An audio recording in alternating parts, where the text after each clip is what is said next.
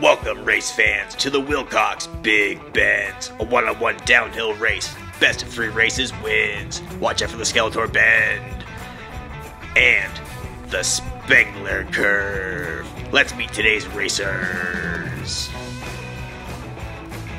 As always, we have the legend himself, Robin Lightfoot, Eric Wilcox, and that bum Jeff Pace, who's trying to make up for the big lube, and Derek Schottenberg. The race will be put into two groups, Group 1 and Group 2. Let's get on to Group 1, Jeff Pace and Eric Wilcox. Let's go! Eric hits the bend and stops, and Jeff Pace wins. Wow.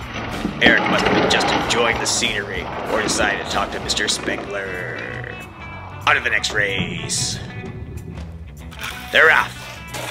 They're whipping through, and Jeff rolls. And Eric Wilcox just decided to stop and see if he was alright. On to the next race, the last and final downhill. Let's go! And Eric stops again. Jeff Pace is the winner. What's the deal with Eric today? He just really likes Egon.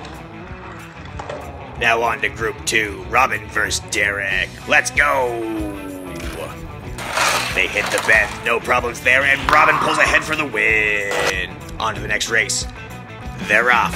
They both hit the bends with no problem, and Derek pulls ahead and wins. On to the last and final race. They hit the corners, Robin flips, and Derek wins. What happened with Robin there? He must have bend way too high. Now onto the final race, Jeff Pace versus Derek Schonberg. Let's go!